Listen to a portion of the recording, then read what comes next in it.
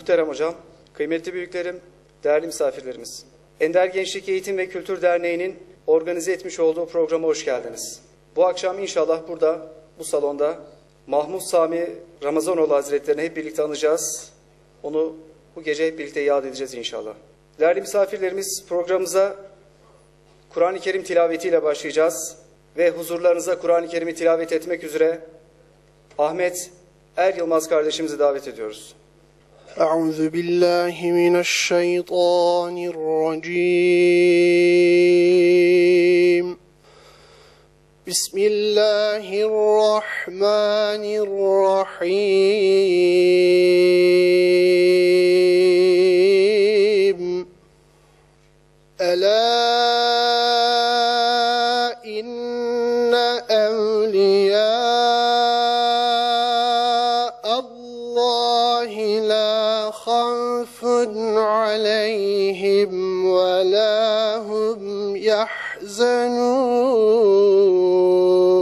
يحزنون الذين آمنوا وكانوا يتقون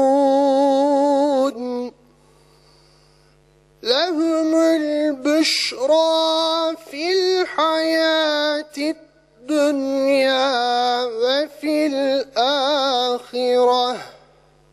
لا تبديل لكلمات الله.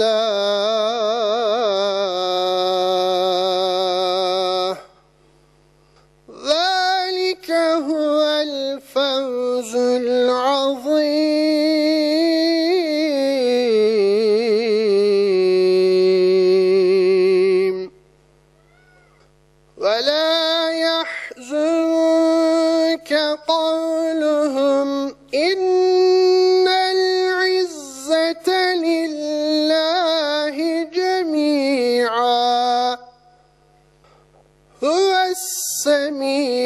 العليم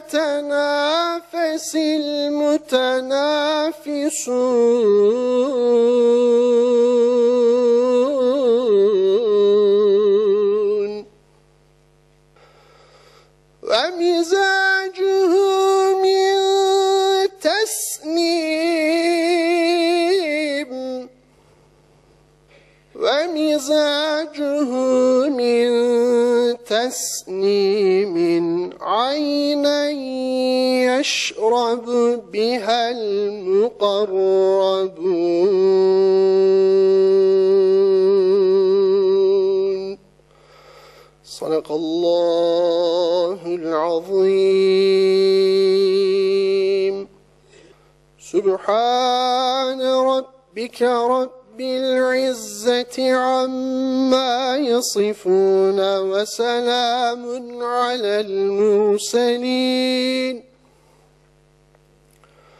والحمد لله رب العالمين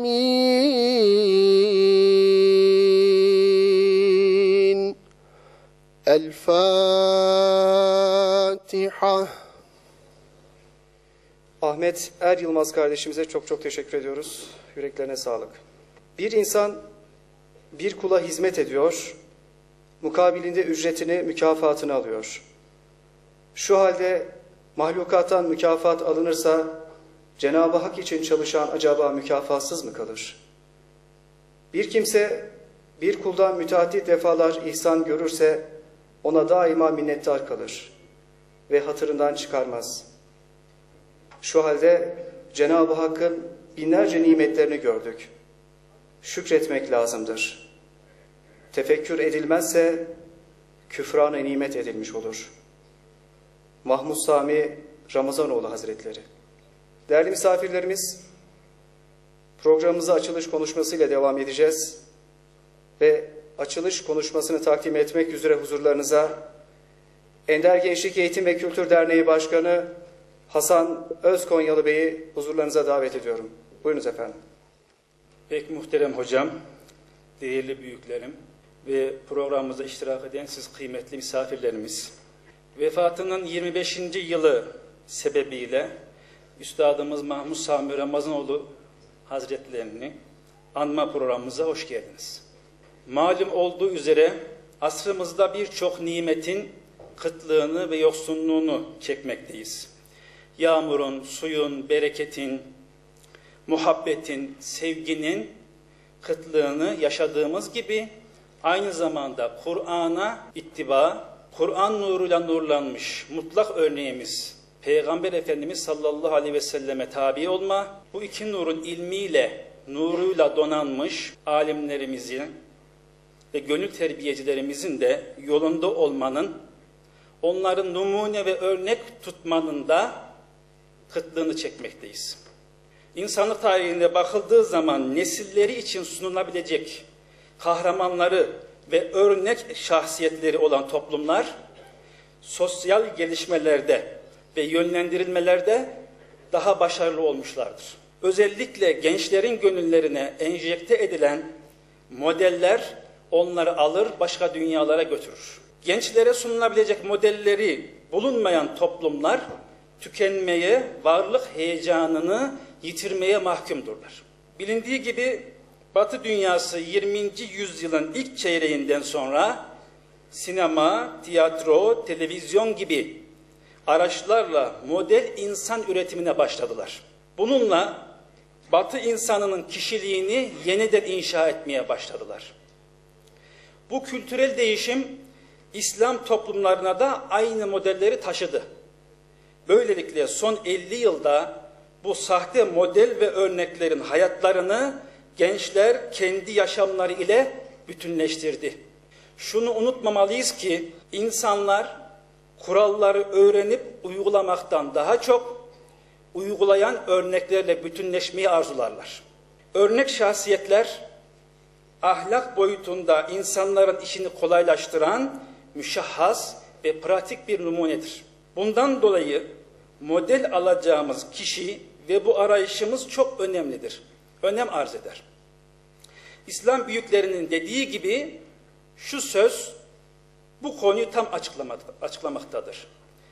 Ulemanın fiiliyatı bilmeyen için delildir. Allah'ımıza hamdolsun ki son zamanlarda İslam dünyasında ve Türkiye'mizde başta Peygamber Efendimiz sallallahu aleyhi ve sellem olmak üzere İslam büyüklerini tanıtmaya yönelik çalışmalara önem verilmiştir.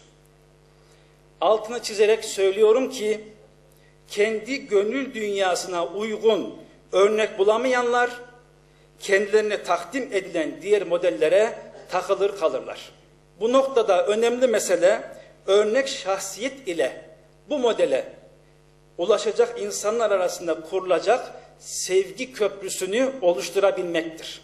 Fani dünyadan büsbütün sıyrılıp ayrılmamız elbette mümkün değil. En kısa yoldan maksuda ermenin yolu ise sevgiye kanat açarak bu sevgiyle dolu olanları sevmekten geçmektedir. Mevlana Hazretleri mum başka bir mum tutuşturmakla ışığından bir şey kaybetmez demiştir. Resulullah Efendimiz sallallahu aleyhi ve sellem'den aldıkları bu kutlu ışığı muhabbet aynası ile bizlere yansıtan bu örnek şahsiyetleri sevmek ve sevdirmek için arada sevgi köprüsü olmak durumundayız. Anneler, babalar, büyükler yeni nesiller yetiştirirken çocuklarımız sahte kahramanları daha sevmeden, tanımadan Allah ve Resulünü, sahabe-i kiram efendilerimizi ve bu kutlu yolun sancaktarlığını yapan örnek şahsiyetleri onlara tanıtmalıyız, onlarla tanıştırmalıyız. Böyle yaptığımız takdirde gelecek nesillerimiz gerçek manada örnek şahsiyetlerin kimler olduğunu bu noktada hiçbir tereddüt yaşamadan modelleyecekleri kişiyi onların en hayırlı rehberleri olacaktır. Sözlerime şu dua ile son veriyorum. Allah'ım bana seni sevmeyi, seni sevenleri sevmeyi, senin sevgine yaklaştıran şeyleri sevenleri sevmeyi bana nasip et. Kendine yapmış olduğumuz davetimizi kabul edip bizleri onurlandıran muhterem Abdullah Sert Beyefendi'ye, programımızın yapımında bizlerde maddi ve manevi desteğini esirgemeyen Ribat Eğitim Vakfımızın yönetim kuruluna ve buraya teşrif eden siz kıymetli misafirlerimize teşekkürlerimi sunuyorum. Ender Gençlik Eğitim ve Kültür Derneği Başkanı Hasan Özkonyalı Bey'e teşekkür ediyoruz. Programımıza gelen mesajlar var. Onları sizlerle paylaşmak istiyoruz. Derneğinizce tertip edilen örneklik ve örnek şahsiyet Mahmut Sami Ramazanoğlu Hazretleri'nin anma programına nazik davetiniz için teşekkür eder. Bu vesileyle merhum Mahmut Sami Ramazanoğlu'nu rahmet ve minnetle anarken şahsınızda ilahiyatçı Abdullah Sert hocamıza ve tüm davetlere selam ve saygılar sunarım. Hüsnü Tuna Konya Milletvekili. Aynı tarihte yurt dışında bulunmamdan dolayı programımıza katılamıyorum. Programın hayırlar getirmesi temennisiyle tüm katılımcılara, dernek üyelerinize ve hemşerilerimize selam ve muhabbetlerimi sunarım. Ayşe Türkmenoğlu Konya Milletvekili. Davetiniz için teşekkür ederim. Söz konusu tarihte konuşmacı olarak katılacağım sağlık zirvesi programı nedeniyle Antalya'da olacağım. Davetinize icabet edemeyeceğim. Mevla'dan şefaatlerine nail olmayı umduğumuz değerli hocamızı anma programının başarılı geçmesini temenni eder. Katılanlara selam, saygı ve muhabbetlerimi sunarım. Doktor Seyit Karaca, Konya Ticaret Odası Meclis Başkanı. Derneğinizin tertip etmiş olduğu Mahmut Sami Ramazanoğlu Hazretlerini anma programına yoğun programım nedeniyle katılamıyorum. Nazik davetiniz için teşekkür eder, saygılar sunarım. Tahir Büyük Helvacıgil, Konya Sanayi Odası Yönetim Kurulu Başkanı. Değerli misafirlerimiz, değerli konuklarımız, Mahmut Sami Ramazanoğlu Hazretleri'nin hayatını konu alan bir slide gösterimiz var. Şimdi sizleri bu slide gösterisiyle baş başa bırakıyoruz.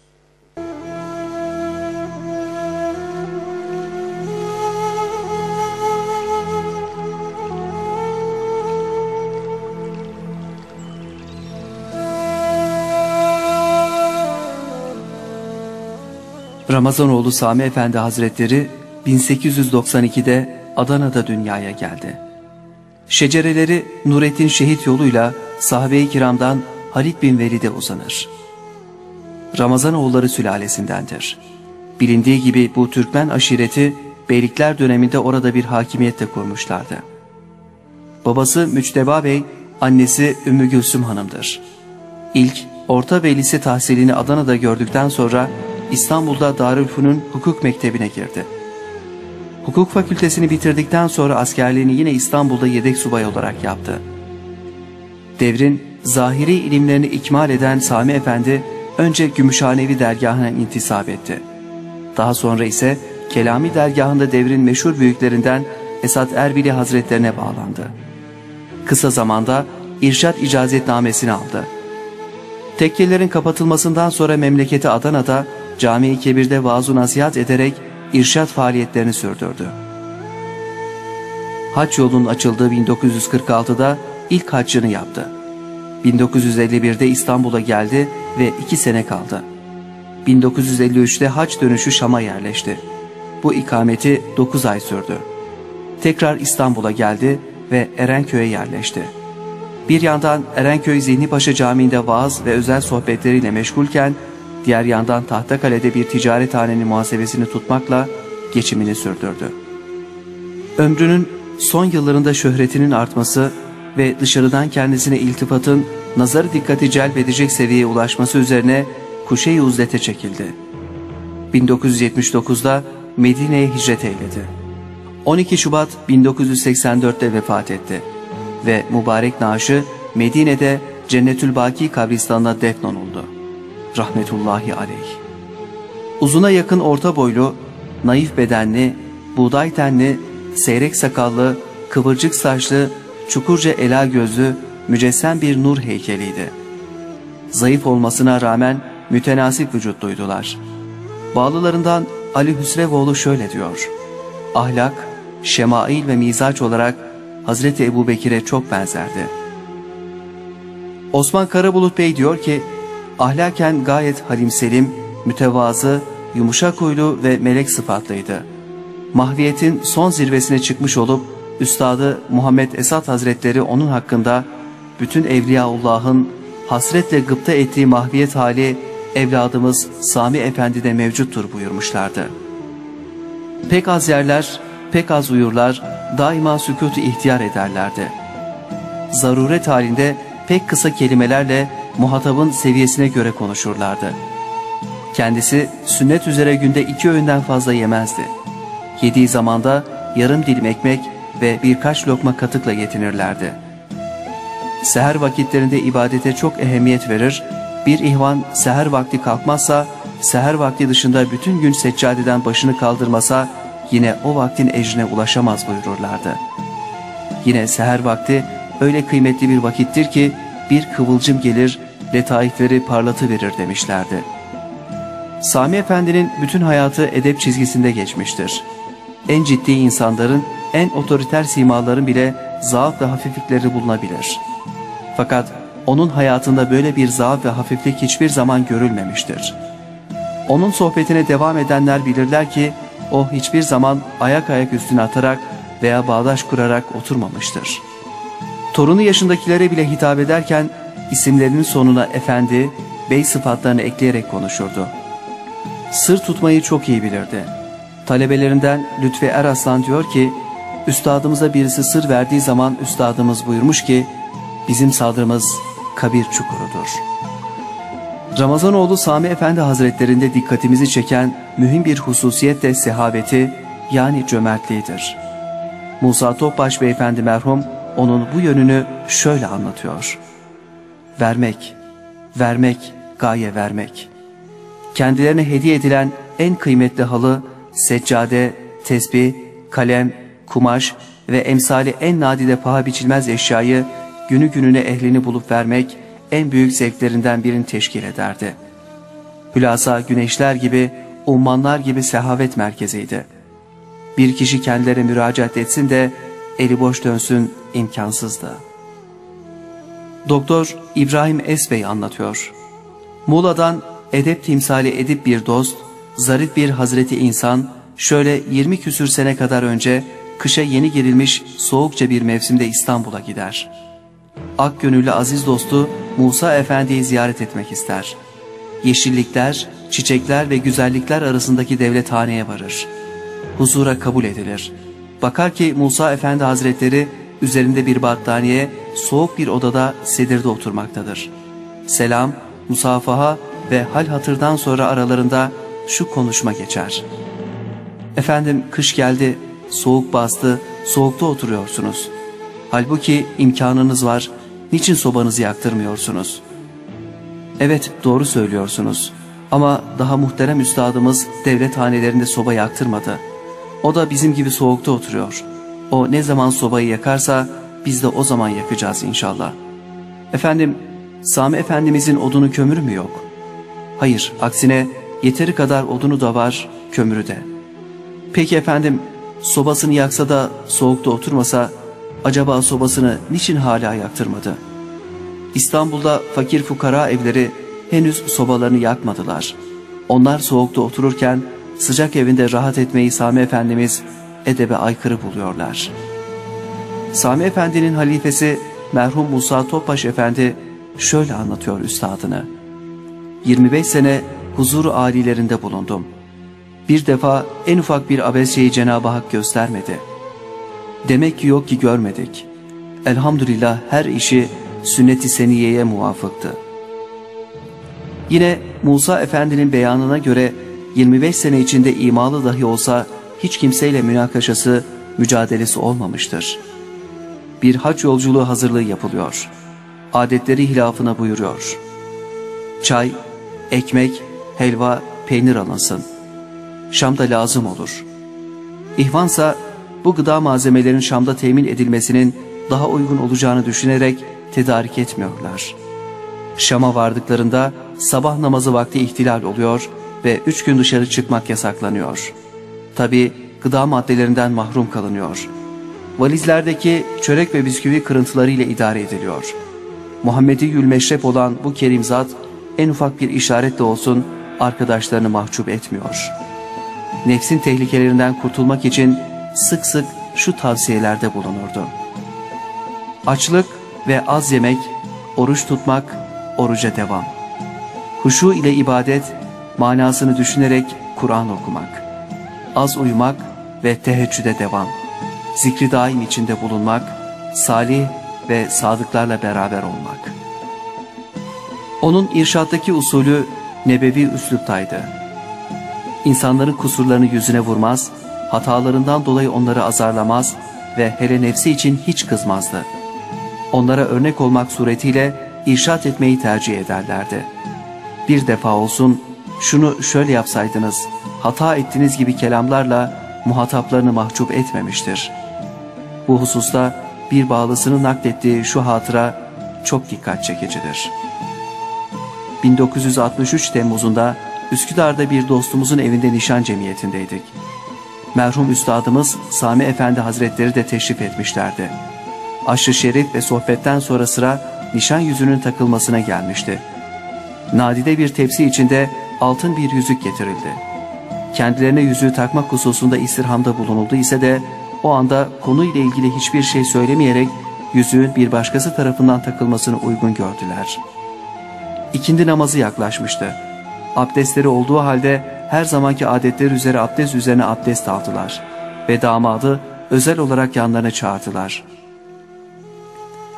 Tatlı ve anlamlı bir tebessümle ve yumuşak bir edayla evlat biz bu altın yüzüklerimizi hanımlarımıza hediye ettik. Siz de hanımınıza hediye ediniz inşallah dediler. Ve manen eşsiz değerdeki gümüş yüzüğünü mübarek parmağından çıkararak bunu da size nişan yüzüğünüz olarak hediye ediyorum buyurdular. Ve büyük bir nezaketle kendi yüzüklerini taktılar. Ve hayır duada bulundular. Sami Efendi Hazretleri Kur'an-ı Kerim hafızıydı. Kur'an-ı Kerim'e aşk halinde bağlıydı. Kur'an taşıyıcılarına çok saygılıydı. Kur'an-ı Kerim dinlemeyi severdi. Hazreti Mevlana gibi Kur'an-ı Kerim'i en iyi anlamanın yolunun onu yaşamaktan geçtiğini sık sık vurgulardı.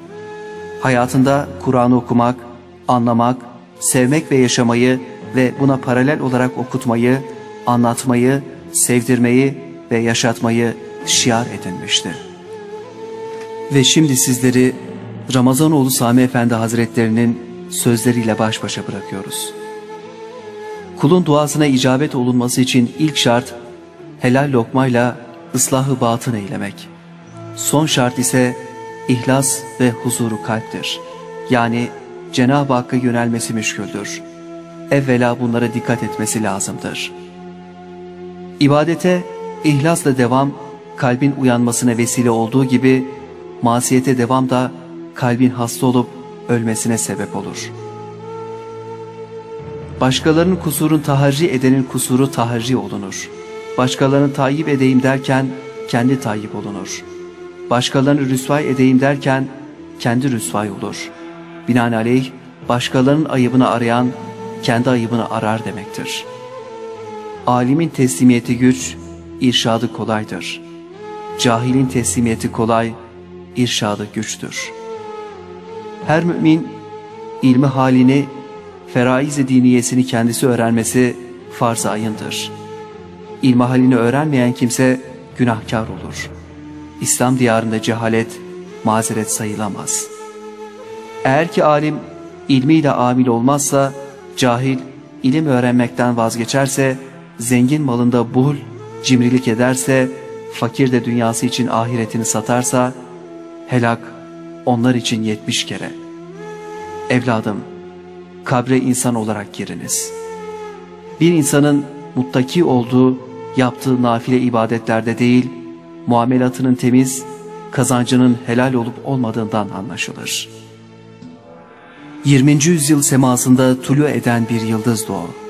Sıddık-ı Ekber meşrebinde büyük bir veliydi o. Aziz şehit Esat Erbil ile elinde büyümüş, nadide bir güldü o. Sükutu ihtiyar etmiş bir hatib-i alişandı o. Toprak olup gül yetiştirenlerdendi o. Resulullah'ın ak sevdalılarındandı o. Ashab-ı kiramın müştaklarındandı o. Halk içinde hakla beraber olma sırrına erenlerdendi o. Cennetül Baki'de metfun olma bahtiyarlığına ermişlerdendi o. İnsanlar içinde insanlardan bir insandı o. Hasılı bir güzel insan Hazreti Sami'ydi o.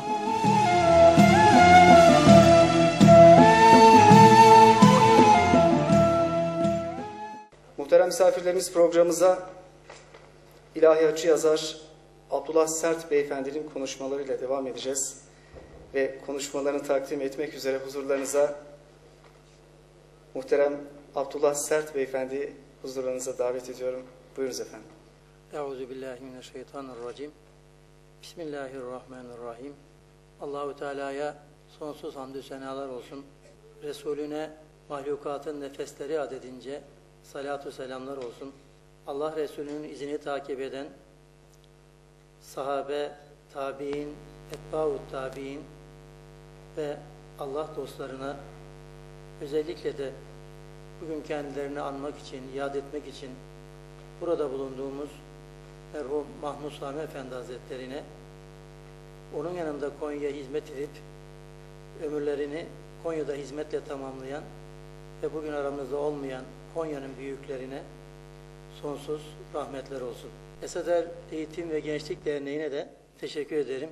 Gençlerimiz gerçekten kendileri için gençliğinden itibaren model olan bir Allah dostuyla buluşmanın heyecanıyla ruhani, feyizli bir program hazırlamışlar. Bendeniz bu kürsüde birkaç defa bulundum. Gerek Altınoluk vesilesiyle, gerek başka sebeplerle bu cemaatin huzurunda konuşmalarım oldu. Ama şunu itiraf edeyim ki, bugüne kadarki konuşmalarımın bence en zor olanını yapmak durumundayım bugün. Çünkü gerçekten bir Allah dostunu anlatabilmek, tarif edebilmek güç. Mevlana ile ilgili bir hatıra anlatılır. Mevlana Hazretleri Selçuklar döneminde resmini almak isterler ve Hazret müsaade eder. Peki gelsinler, çizsinler diye. Fakat gelen ressam Hazreti Mevlana'ya der ki efendim sizin resminizi almak istiyorum. Buyurun evladım der. Şöyle bir Mevlana'ya bakar. Sonra tabi ressam olduğu için bir şekil çizer. Biraz sonra bakar ki Mevlana o değil. Allah Allah galiba yanlış gördüm der. Yeniden bakar, bir şekil daha çizer. Yine o değil. Hasılı Mevlana'nın resmini çizmeye muvaffak olamaz. Gerçekten külle yevmin huve fî şe'n dediğimiz her an çok farklı bir tecellide, çok farklı bir halde, çok farklı bir kıvamda olan Allah dostlarını böyle e, bütün etrafıyla efradına cami, ağyarına mani bir şekilde anlatabilmek çok güç. Ancak salihlerin anıldığı yere rahmet iner fehvasınca şu güzide topluluğun, bu feyizli, bereketli topluluğun bugün Konya'mıza bir rahmet çekeceğine inanıyorum. Artı Konya'da Sami Efendi'yi anmanın bir farklı boyutu var. Nedir bu farklı boyut? Allah Resulü sallallahu aleyhi ve sellem Efendimiz sahabilerine bir gün buyuruyor ki benim kaderime ve kısmetime ümmet olarak sizler düştünüz. Sizin kısmetinize ve kaderinize de peygamber olarak ben takdir olundum. Mahmud Sami Efendi Hazretleri'nin Konya ile çok özel bir ilgisi vardır. Onun kaderinde Konya'nın gerçekten özel bir yeri vardır. Çünkü Mahmud Sami Efendi 1930'larda yani 36, 37, 38 yaşlarında artık biraz kuşeyi üzerine çekilmiştir. Fakat üzerinde çok önemli bir emanet vardır. Bu emaneti kendi iş dünyasında çok ciddi olarak muhafaza etmekte, belki sadece duruşuyla, tavırlarıyla o emaneti pırıl pırıl etrafa yaymaktadır. Onu geçmişte Kelami dergahından tanıyan Konyalı dostları, Karamanlı dostları giderler ve efendim derler 1950'li yıllarda Sami Efendi'nin artık böyle 55'li 60'lı yaşlara merdiven dayadığı günlerde sizde çok önemli bir emanet var. Biraz sonra arz edeceğim onu. Çünkü size verilen görevde sizin piriniz, üstadınız Allah emanetleri ehline tevdi etmenizi emrediyor diyor ve size böyle bir emanet tevdi ediyor. Siz de bu ümmetin irşadı için bu ümmete yeniden o maneviyatın neşelerini vermek için bir emanet var. İşte bizler sizin kardeşleriniziz, evladınızız. Sizlere bu noktada yardımcı olmak isteriz. Sizlerle yola düşmek isteriz. Sizin yanınızda olmak isteriz derler. Ve gerçekten merhum Mahmud Sami Ramazanoğlu Hazretleri o Adana'daki Kuşe-i Yüzletinden yavaş yavaş Anadolu'nun köylerine, kasabalarına yolculukları başlar. Her gittiği yere de hiç çürümeyecek tohumlar atar. Bunun için söylüyorum. Toprağa bazen tohum atarsınız. O tohum birkaç gün sonra tarif, tarif, e, tarla farelerine yem olur. Ama öyle ihlaslı tohumlar atarsınız ki hiçbirisi zayi olmaz. O tohumlar ağaca dönüşür, ağaçlar meyve verir, dallar uzanır. Sami Efendi Hazretleri'nin Konya'da başlayan o mütevazi, mahviyetkar, sessiz tohum ekmeleri bugün elhamdülillah İslam coğrafyasının çok büyük bir alanında hatta diyebilirim ki Osmanlı coğrafyasından daha büyük bir alanda meyveler vermektedir. Onun için bendeniz Sami Efendi'nin irşat nasibinde Konya'nın büyük bir payı olduğunu, Konyalıların da mürşit nasibinde Sami Efendi gibi büyük nasipleri olduğunu düşünmekteyim. Bunu Konya'da olduğum için söylemiyorum. Türkiye'nin neresinde olsam bunu bir sosyal vaka olarak arz ederim. Onun için diyorum ki Konya'da Sami Efendi'yi anmak, anlatmak, Sami Efendi ile buluşmak, bütünleşmek çok daha farklıdır, önemlidir. Bir başka ifadeyle şöyle başlamak istiyorum. Osmanlı'nın manevi mimarı, Osman Gazi'nin mürebbisi, mürşidi, rehberi, yol göstericisi Şeyh Edebali Osman Gazi'ye 600 yıl devam edecek bir devletin kuruluşunda bir misyon yüklerken ona şöyle der. Osman, insanlar vardır, şafak vaktinde doğar ve akşam ezanında ölür. Yani dünyada hiçbir izi, hiçbir sözü, hiçbir hayrı, hiçbir güzelliği kalmaz. Dünyaya sabah gelmiştir, akşam da gitmiştir. Ama insanlar vardır, gerçekten çağlara kalır. Ve yine devam eder Şeyh Edebali, ben de gidenin değil, giderken bir şeyi bırakmayanın ardından ağlarım. Gidenin arkasından ağlamamalı. Ama giderken arkasında hiçbir şey bırakmayan insana ağlamalı. Bırakanın da bıraktığı yerden devam etmeli. İnsanlık tarihinde en büyük mirası peygamberler bırakmıştır. İşte dünya kurulalı kaç sene oldu? Hazreti Adem aleyhisselam cennetten ne zaman yeryüzünü teşrif etti bilmiyoruz. Ama bize Hazreti Adem'in tevbesi kaldı. Nuh'un tufanından başka bir güzellik kaldı. O senin oğlundur değil emri kaldı. Her peygamberden insanlığa büyük güzellikler kaldı. Resulullah sallallahu aleyhi ve sellem sevgili peygamberimiz sahabenin tabiriyle anaların babaların kendisine feda edildiği aziz peygamber bütün peygamberlerin mirasını bütün peygamberlerin mirasını geleceğe taşıdı. Hem de vahiy ilahiyle. Onların hepsinin insanlığı kıyamete kadar aydınlatacak izleri ve eserleri var. Büyük fütuhata giren güzel insanlar temiz ülkeler bırakırlar. Bizlere de tertemiz, güzel bir ülke bırakılmış. Bin yıldır bu topraklarda gerçekten ezanı dinliyoruz, Kur'an'ı okuyoruz, secdelerle buluşuyoruz. Onlar da bize ülkeler emanet etmişler. Alimler ilim, ilim bırakmışlar.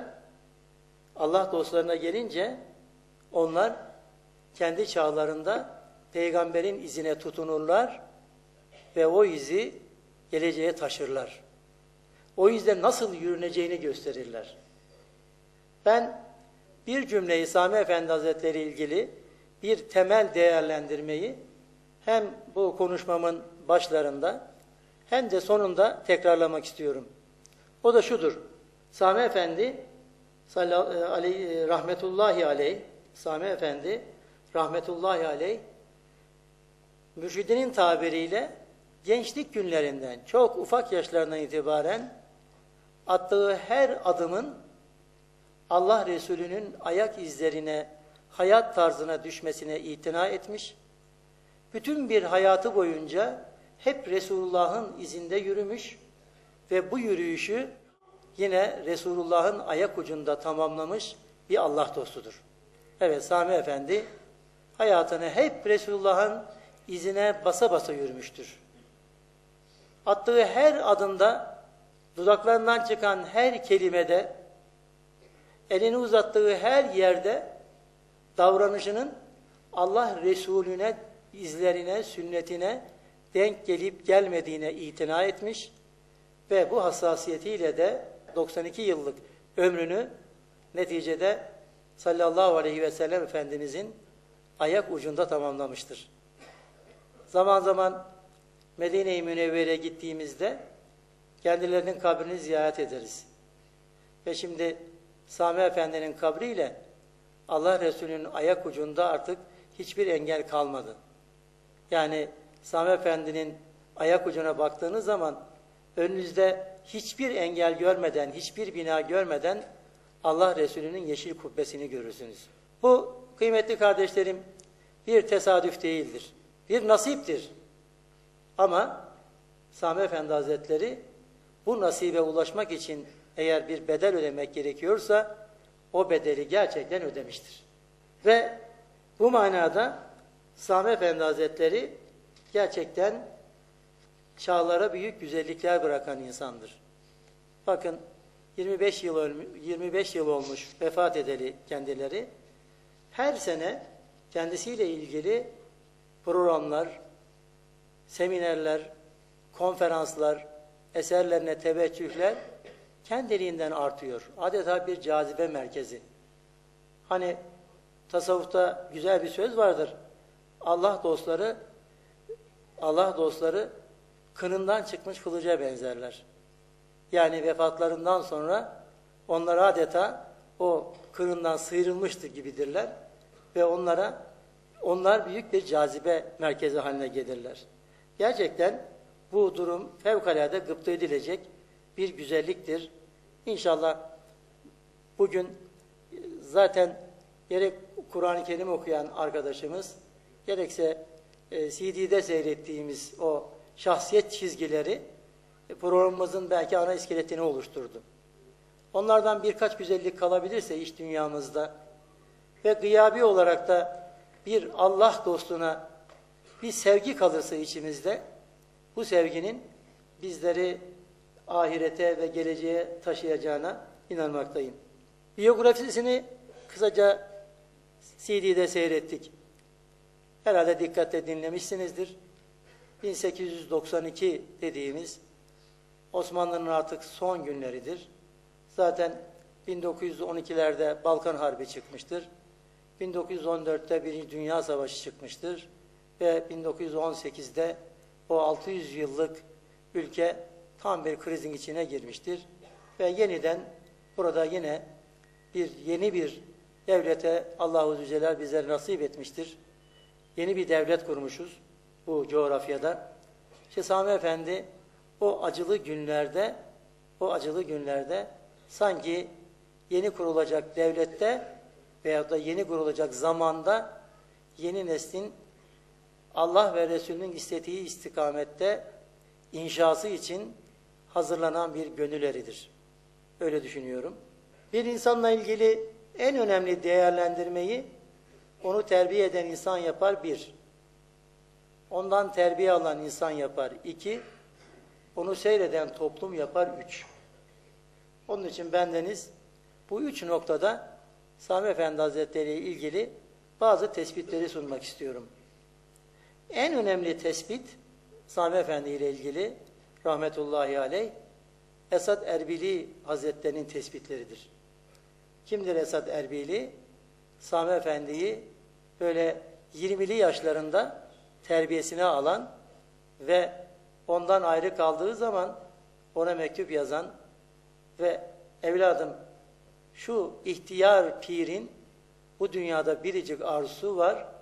Senin gibi genç bir insana ihtiyarlık gelmeden sizi gayelerin en güzeli olan manevi seyir sülükünüzü tamamlatmak. Ben sanki bunun için varım diyor Esad Erbili. Onun için de Esad Erbili Hazretleri Sami Efendi'yi gençken terbiyesini almış ve onun gençlik yıllarında özellikle ben genç kardeşlerimiz için bu terbiyenin, bu manevi terbiyenin, insan inşasının gençlik yıllarında ne kadar önemli olduğunu belirtmek babında eğer Sami Efendi Hazretleri ilgili özel bir gönül bağı kuracaklarsa, onun neremiz benziyor diyeceklerse, kendi kulluklarını, kendi manevi gelişmelerini genç yaşlarda başlatmalılar ve demeller ki bizler de tıpkı Sami Efendi gibi gençliğimizi nezih bir dinin emirleri içerisinde geçirdik. Onun için Esad Erberi der ki, Sami Efendi onun nazarında gençliğini nezih dinin dairesi içinde geçirmiştir. Gençlikte dinin o dairesi içinde kalabilmek zordur. Nefsin baskıları vardır, çevrenin baskıları vardır, başka dış etkenler vardır. İnsanın gençlik yıllarında o nezih dinin, o İslam dininin kurtarıcı esasları içerisinde yaşayabilmesi gerçekten zordur. Ve bunu başaranlar da işte Esad Efendi'nin şahitliğini almış olurlar.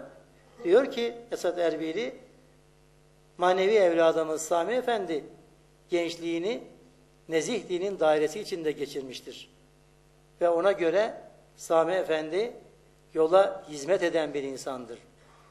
Esad Erbili'ye göre Sami Efendi bütün gayret ve mesaisini bezeden bir insandır. Ve Esad Erbili Hazretlerinin tabiriyle Sami Efendi letaifini masiva lekesinden temizlemiş insandır. Bu aynen mektubat 134. mektupta var. Ben o dili ağır olduğu için sadeleştiriyorum. Müthiş bir tabir bu. Letaifini masiva lekesinden temizlemiş bir insan. Günah demiyor bakın. Masiva lekesinden. Yani Allah'tan başka her şeyden o iç dünyasını temizlemiş, berrak bir hale gelmiş, şeffaf bir hale gelmiş, tertemiz bir hale gelmiştir Sami Efendi. Yine onun tespitiyle Sami Efendi'nin arzusu, iradesi sağlam ve sadıktır.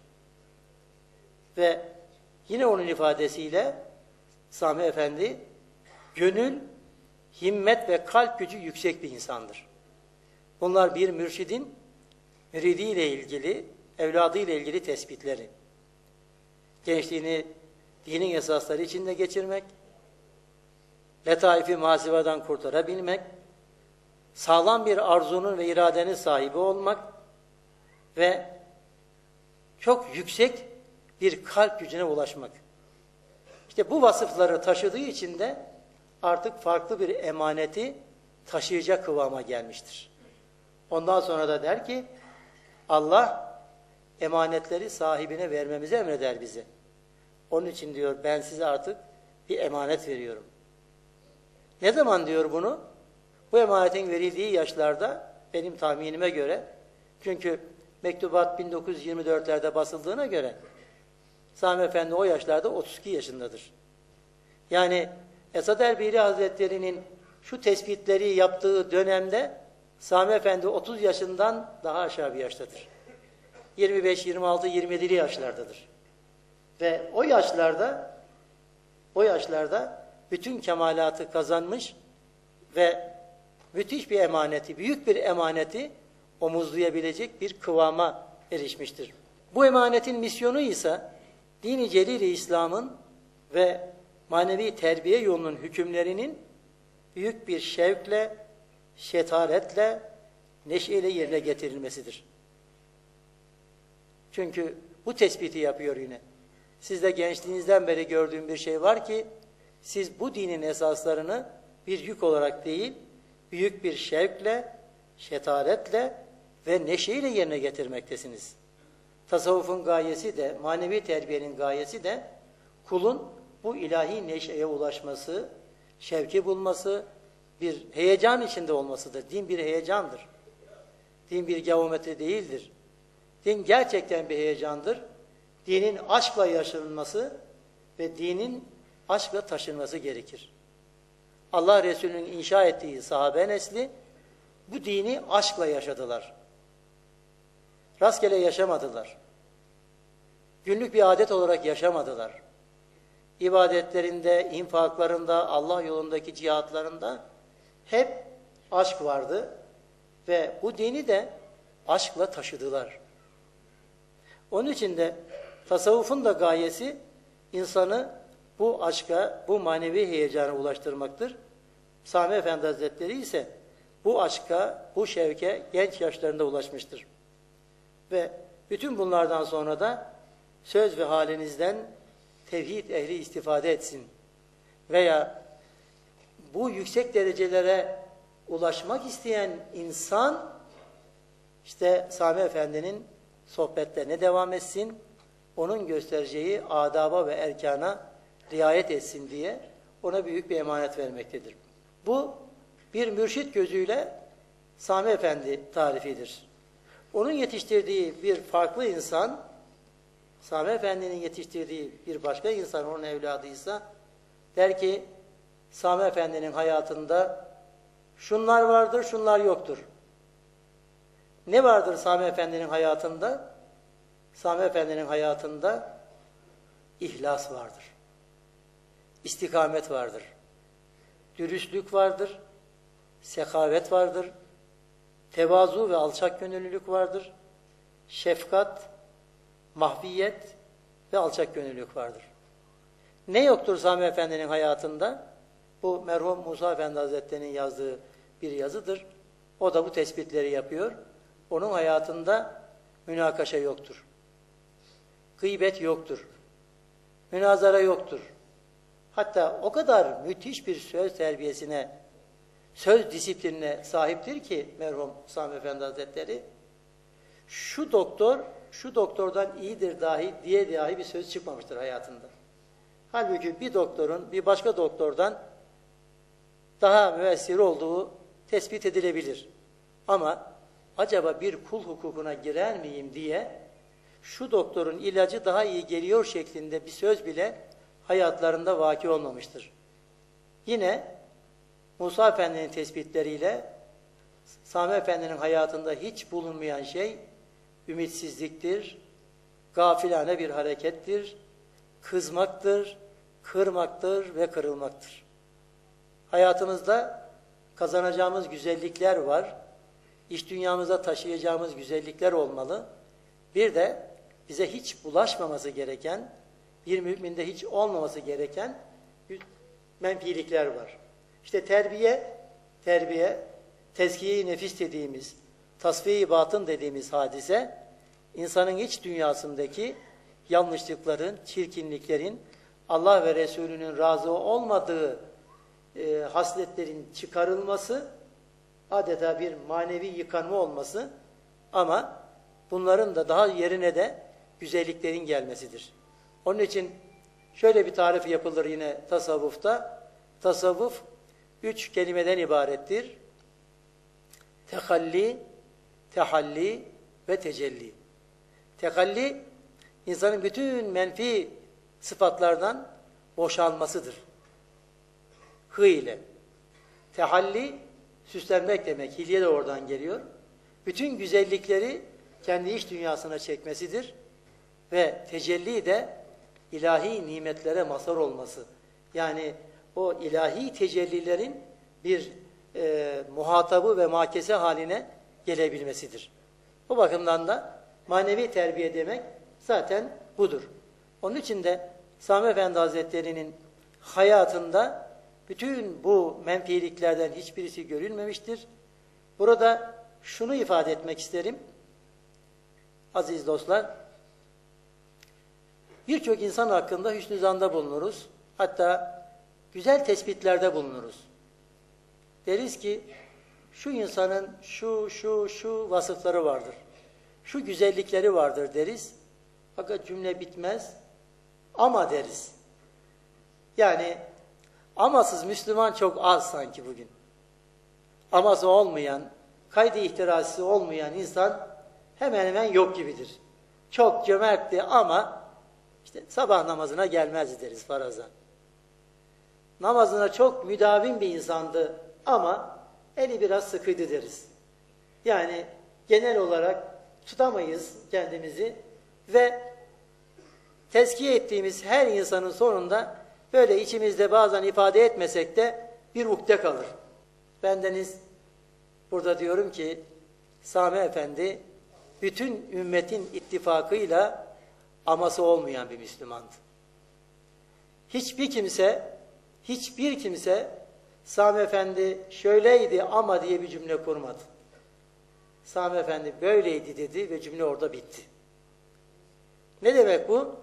Demek ki bütün güzellikleri üzerinde toplayan, ya şu güzellikte bu insanda artık olsaydı diye bir şey bırakmayan, gerçekten de bir insanda bulunmaması gereken bütün vasıflardan da tamamen kendini azade etmiş bir insan olabilmek, elbette ki bu çok nadir kullara nasip olan bir güzelliktir.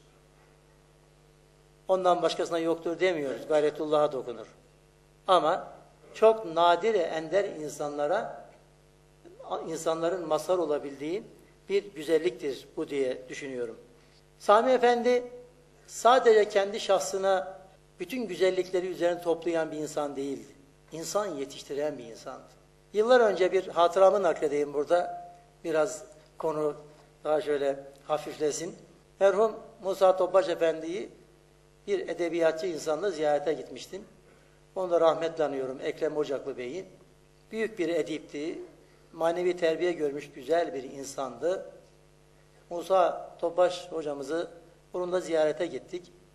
Benim herhalde o zaman böyle 25-26 yaşlarında olduğum bir yaştı. İlk defa görüyordu kendilerini. Çok hayran oldular, gıpta ettiler. Sonra çıkınca bana dediler ki siz daha çok gençsiniz. Ben size tasavvufla ilgili bir önemli hususu belirtmek isterim. Mürşitler vardır, kamildir. Ama kemali kendisinde kalır. Mürşitler vardır, kamil ve mükemmildir. Yani kendisi kamil olduğu gibi aynı kemalde de insan yetiştirir. Ben dedi, bu zatı gördükten sonra, Musa Efendi'yi gördükten sonra Mahmud Sami Ramazanoğlu'nun nasıl bir mürşidi kamil ve mükemmel olduğunu anladım. Zira böyle bir insanı ancak mükemmel bir mürşit yetiştirebilir. Hani kişi aynesi iştir, kişinin lafa bakılmaz derler. Eserden müessire, sanattan sanatkara bakmak veya eserden müessire yol bulmak, sanattan sanatkar hakkında fikir yürütmek diye. Gerçekten Sami Efendi Hazretleri mükemmel insanlar yetiştiren bir insan. Konya'da yetiştirmiş, Kayseri'de yetiştirmiş, Adapazarı'nda yetiştirmiş, İzmir'de yetiştirmiş, Bursa'da yetiştirmiş ve onların her biri Sami Efendi Hazretlerinden sonra hep topluma model olmuş, gıpta edilmiş insanlardır. Onun için de Sami Efendi Hazretleri'nin e, özellikle e, insan yetiştirmek hususundaki e, kabiliyeti e, çok gıpta edilecek bir husustur. Bunda da temel husus az önce de ifade edildi. Tamamen örnek olmaktır. İddiadan, davadan, çekişmeden uzak olarak model olmak. Bazen insanı bir bakışlarıyla yetiştirirler. Bazen bir tebessümleriyle yetiştirirler. Bazen de bu işin böyle olması gerekir diye yetiştirirler. Tasavvuf kitaplarında genelde Allah dostları ile ilgili tarifler vardır. Ve bu tariflerde genelde maddeler halinde zikredilir. Ben onlardan birkaç tanesini sizlerle paylaşmak isterim. Allah dostu kimdir? Kimden Allah dostu olabilir konusu geldiğinde en başa yazılan husus birinci madde Kur'an'a ve sünnete bağlılıktır. Yani Kur'an ve sünnet bağlılığı olmadan Allah dostluğu gerçekleşmez diyor Allah dostları. Niye? Kur'an-ı Kerim'de kardeşimiz o kadar güzel yerler okudu ki yani şöyle güzel derken hepsi güzel de konumuzla ilgili öyle seçimler yapmış ki kendilerine ben buradan böyle Sami Efendi'nin manevi huzurunda teşekkür ediyorum. Ee, Yunus suresinin 62. ayeti Ela inne evliya Allah la havfun aleyhim ve la hum yahsenun ellezine amenu ve kanu yettekun. Allah dostlarına korku yoktur. Onlar üzülmeyeceklerdir de. Ama onlar iman edip takvaya ermiş olanlardır. Demek ki Allah dostunun ilk adımı iman ve takva yolculuğunda yürümektir. Sonra ikinci bir husus okudu kardeşimiz yine. O da Fatır suresinin 29. ayeti kerimesiydi. Allah'ın kitabını okuyanlar, namazını kılanlar, kendilerine verdiğimiz rızıktan Allah için gizli ve açık sarf edenler asla zarara uğramayacak bir kazanç umabilirler. Çünkü Allah onların mükafatlarını tam öder, lütfundan onlara fazlasını da verir. Şüphesiz o çok bağışlayan, şükrün karşılığını bol bol verendir. Bütün bunlardan anlaşılan şu gerçektir ki Kur'an'ın çizdiği Allah dostluğu Allah'a itaattan, Resulullah'a muhabbetle itaattan geçer.